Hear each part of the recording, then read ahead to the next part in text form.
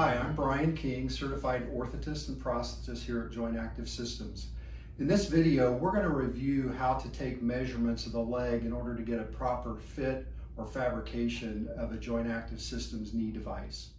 It's very important to take good, accurate measurements of the leg for the knee device in order to maximize leverage and also maximize soft tissue capture. This will assure that we're spreading those corrective forces over maximum surface area and get the most effectiveness out of the device. A few important things to remember when you're measuring your patient. First, you want to position them on a firm chair and have them towards the edge of the chair so that you can access the leg for measuring that length. The next thing that's really important is making sure that you don't abduct the leg that you're measuring too much. That can sometimes make our upper length measurement too long. And lastly, you want to make sure that if we're measuring for an extension device, we position the leg in the patient's maximum extension angle, or if it's a flexion device, we want to have them in their maximum flexion angle. For our circumference measurements, we're first going to measure the upper leg and we're going to move from proximal to distal, then we'll measure the lower leg. This first measurement is one and a half inches distal to the groin, and we're defining the groin as simply the top of the thigh on the medial side of the leg. In this case, we get 24 inches.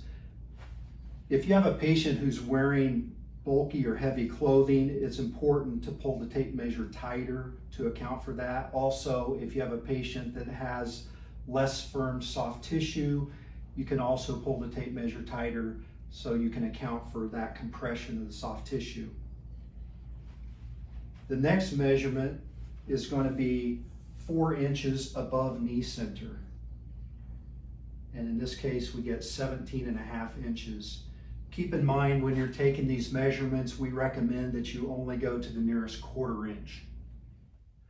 For the lower leg, our first measurement is going to be at the largest point of the calf or the calf apex. In this case, we get 17 inches. The next measurement will be two and a half inches proximal to the medial malleolus. And in this case, we get nine and a half inches.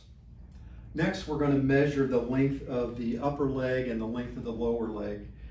When you measure the length of the upper leg, it's really important to establish the proper starting point for your tape measure at that groin level. We want the tape measure positioned so that we're maximizing leverage without compressing soft tissue or impinging in the groin area. So we recommend that you have the patient position the top of the tape measure at a comfortable level in reference to the groin. If you put it roughly where you measured your top circumference, that's going to be a good starting point for most patients. We're going to measure along the midline of the thigh down to knee center, and knee center in this case we define as the medial epicondyle.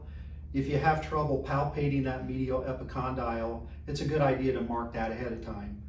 So in this case, the length of the upper leg is 14 inches.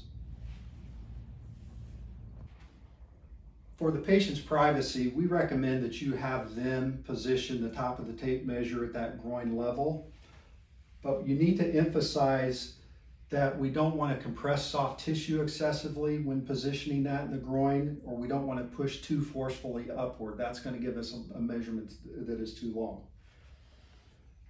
Also, we want to make sure that the patient doesn't position the tape measure too far anteriorly. That again is going to give us a proximal starting point that is too high and therefore give us a measurement that's too long. Another important tip for establishing the proper proximal starting point for your upper leg length measurement is simply visualizing where the proximal cuff is going to rest on the thigh comfortably for the patient while maximizing our leverage. Our last measurement will be the length from the medial malleolus to the knee center. And again, it's helpful to mark that if it's difficult to palpate on your patient. In this case, we get 17 and 3 quarter inches. If you have any questions regarding these measurements or certainly any other measurements for JAS devices, We recommend that you refer to our JAS measurement guide or give us a call here at JAS anytime.